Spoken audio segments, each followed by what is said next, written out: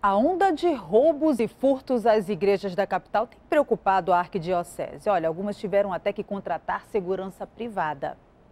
Vidro quebrado, porta fora do lugar. Essa é uma das igrejas invadidas por assaltantes. Ela fica na Redenção, zona centro-oeste da cidade. É a terceira vez que ela é roubada. Eles entraram pela janela e levaram equipamentos de som.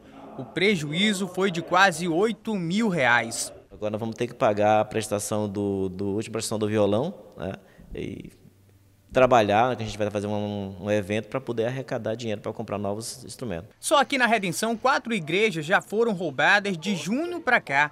Aqui na comunidade de São Francisco, os bandidos também arrombaram portas e janelas. Na paróquia Cristo Redentor no Alvorada, equipamentos de som também foram levados pelos criminosos e o prejuízo passou dos 37 mil reais. E não são só as igrejas de bairros os alvos dos assaltantes. Aqui na paróquia São Geraldo, que fica em uma avenida movimentada, Constantino Neri, os bandidos levaram toda a fiação.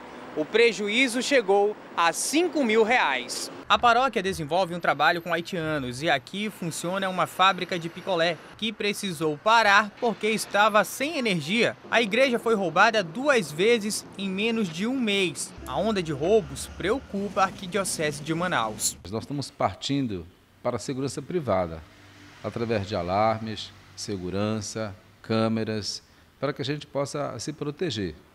Isso é importante. Mas ao fazer isso, nós estamos pagando duas vezes porque já pagamos as nossas taxas altíssimas e temos que pagar mais segurança privada. Alguma coisa estranha está acontecendo. Os criminosos costumam agir durante a noite e madrugada. Eles sempre levam aparelhos eletrônicos, como caixas e mesas de som, além de notebooks. Muitos deles, por incrível que pareça, são moradores de rua. Ou seja, eles pegam esses fios, descascam, queimam esses fios em lugares ermos para vender para os sucateiros e ganham até uma quantia razoável de 500 reais.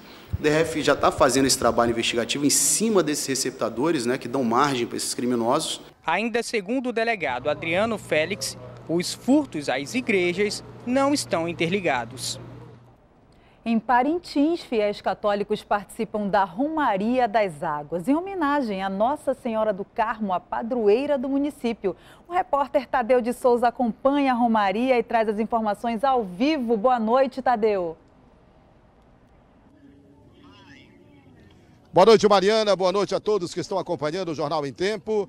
Milhares de pessoas se concentraram na orla da cidade de Parintins para acompanhar a Romaria das Águas. A Romaria das Águas já é uma tradição na festa da padroeira dos parintinenses. É uma romaria que sai lá da região do Rio é, do Limão, uma, na embocadura do Limão, como nós chamamos aqui popularmente, na boca do Limão, e vem descendo o Rio Amazonas, acompanhado de muitas embarcações. A romaria já chegou aqui na cidade de Parintins, passou aqui onde eu estou, nesta área que eu estou, e voltou para abençoar a orla da cidade. A imagem vem des... continua vindo na direção, é, fez uma, um, um, balão, vamos dizer assim, aqui, em frente à cidade, e voltou lá pela área do São Benedito, pelo bairro do São Benedito, exatamente para vir descendo com mais, mais devagar, abençoando as pessoas que se concentram na orla da cidade de Parintins. O ponto alto da festa da padroeira será neste domingo, dia 16 de julho, quando acontece a procissão solene. Nós vamos mostrar aqui, Mariana,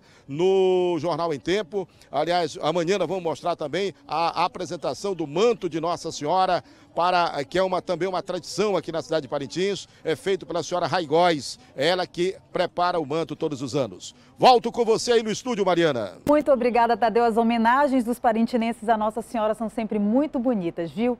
Olha, a caravana que saiu de Rondônia e chegou ontem a Manaus reuniu hoje com empresários e comerciantes do estado para discutir a situação da BR-319. Eles querem se unir para lutar pela pavimentação da rodovia. O grupo que saiu de Porto Velho é formado por jornalistas. A equipe do SBT de Rondônia participa. Antonione Rocha, cinegrafista da TV Alamanda, foi quem fez essas imagens que você acabou de ver. Olha, vale lembrar que as obras de manutenção já foram retomadas e a pavimentação ainda depende de licenciamento ambiental. A Justiça Federal determinou a saída imediata do prefeito caçado de Novo Airão, Wilton Santos. O vice na chapa deve assumir o cargo. O prefeito é acusado de improbidade administrativa por suspeita de desvio de recursos federais em obras na cidade. A movimentação começou cedo em frente ao cartório eleitoral de Novo Airão, na região metropolitana de Manaus. É que os moradores do município ficaram sabendo deste documento.